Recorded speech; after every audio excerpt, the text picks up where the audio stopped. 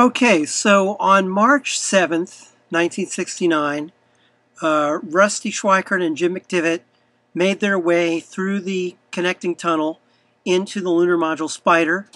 They uh, left Dave Scott alone in the command module Gumdrop, and they sealed the hatches. The docking mechanism had been uh, installed again, and uh, Scott um, undocked and they separated, and um, it was time for McDivitt and Schweickart to check out and fully test the lunar module for the first time with a crew in low Earth orbit.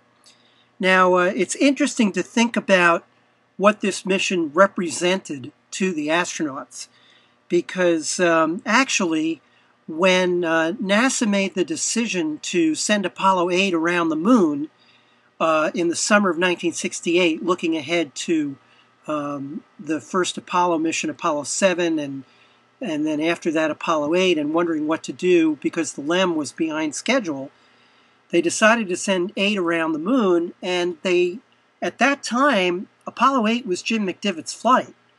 Uh, McDivitt, Scott, and Schweickart were the crew of Apollo 8, and it was supposed to be this checkout of the complete Apollo spacecraft. Well, Deke Slayton, who uh, was in charge of all the crew selections, uh, offered the flight to McDivitt as a lunar flight, and he turned it down.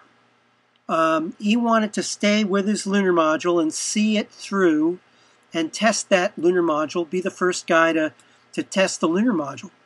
And, um, you know, some people might think that that was the, the, uh, the less exciting choice.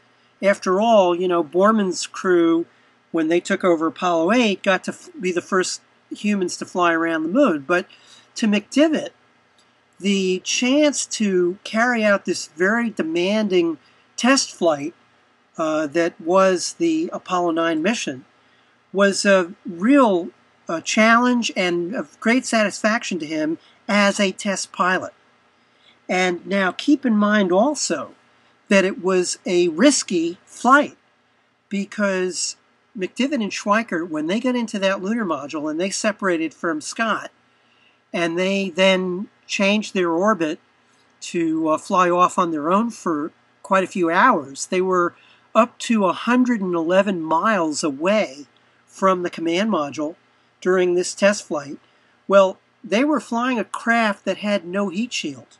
They could never have come home to Earth if for some reason they had been unable to rendezvous with uh, with Dave Scott. Now, of course, Scott had his own backup plans for emergency rendezvous if uh, he needed to go rescue McDivitt and Schweickart. But there was considerable risk here, and these guys definitely were aware of that. They had a healthy awareness of the risks they were taking as they separated and went off on their own. Um, the test went perfectly. They fired uh, the descent engine on the lunar module and tested it. And then they separated the descent engine. They cast that off and fired the ascent rocket um, and uh, did a number of maneuvers. And then, um, after several hours of that, they made their way back to the command module. And on the left here, you can see Jim McDivitt flying the lunar module ascent stage, Spider's ascent stage. And um, this is the only photograph, by the way, that was ever taken of an Apollo commander flying a lunar module. Rusty Schweickart took this during the rendezvous. And on the right there, you can see uh, Dave Scott's view of Spider as it returned to him. And uh, they had a successful docking. Uh, they spent another a week or so in orbit photographing the Earth and doing experiments. And then on March 13th, they splashed down after a extremely successful, very demanding, but, but uh, very successful test flight. And now the way was clear for the next big step in Apollo, which would be tackled by Apollo 10, uh, commanded by Tom Stafford, his uh, lunar module pilot was Gene Cernan, both of those guys Gemini veterans, of course. Uh, in fact, Stafford had flown twice on Gemini. He'd been Wally Schirra's co pilot on the first space rendezvous in Gemini 6, and then he commanded Gemini 9 with Gene Cernan. Their command module pilot was John Young, uh, also a Gemini veteran of two different flights, Gemini 3 and Gemini 10. Now, they had basically the, cha- the task of taking the Apollo 9 mission and replicating it in lunar orbit. Um, and they also were going to do uh, something that nobody had ever done before. They were going to fly very close to the moon in the lunar module. This was basically a dress rehearsal for the um, Apollo 11 landing. Um, and they were going to do everything but land on the moon. Uh, they were going to do everything right up until the point of the final descent to the moon. Well, what they were going to practice, the really uh, key maneuver here, was that they were going to fire their lunar module's descent rocket for a relatively short burn and change their orbit from a high point of uh, or 69 miles, or basically a circular orbit, 69 miles, down to a low point of 50,000 feet above the moon. You can see that in the upper diagram.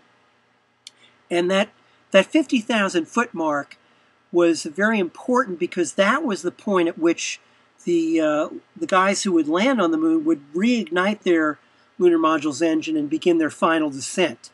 But what Stafford and Cernan would do would be to just fly down to 50,000 feet and fly over the landing site at 50,000 feet or so and take close up pictures of it. They would also test out the lunar module's um, landing radar uh, they would um, make a number of observations and then they would fire their rocket. Uh, they would separate and fire their ascent rocket to rejoin uh, John Young in the command module after several uh, hours and a couple of orbits with that low point of 50,000 feet. And the mission uh, left Earth on May 18th, 1969. They made it to the moon without any problems. They went into lunar orbit, and then on May 22nd, uh, Stafford and Cernan went into their lunar module, which they had named Snoopy, because it was going to go down to 50,000 feet and snoop around. And uh, also the Charlie Brown, the uh, Peanuts uh, cartoon characters were very popular at NASA, where they were used as symbols of uh, flight safety awareness. And the command module, Charlie Brown, was going to remain in lunar orbit. You see it on the left at an orbit of altitude of 69 miles. And by the way, uh, the picture on the left shows Charlie Brown flying over the uh, Sea of Tranquility near the place where Apollo 11 was going to try and land. And you'll notice that at the top of the picture is a kind of a uh, heart heart-shaped mountain, sort of a triangular mountain, uh, clump of mountains which Jim Lovell had uh, observed on Apollo 8 and had named for his wife. So that mountain is called Mount Marilyn, after Marilyn Lovell. Well, so they uh, carried out their dress rehearsal, uh, no problems. They everything went off without a hitch until the moment at which Stafford and Cernan were going to separate their descent stage from the ascent stage. And at that point, um, because of some incorrectly set switches, the uh, ascent stage started to gyrate wildly, and uh, Stafford had to uh, take control and steady the craft. Um, and later they realized what had happened after the flight. NASA figured out the problem so that it would not recur. And so um, on May 26th, 1969, they splashed down and um, actually, I think I've got that date wrong. I think it's the 25th, but we can check that, of course. Um, John Young, you see getting out from the uh, command module Charlie Brown after splashdown, and now everything was clear for Apollo 11 to try for the ultimate test flight and to achieve Kennedy's goal of landing on the moon. And that's what we'll look at in the next segment.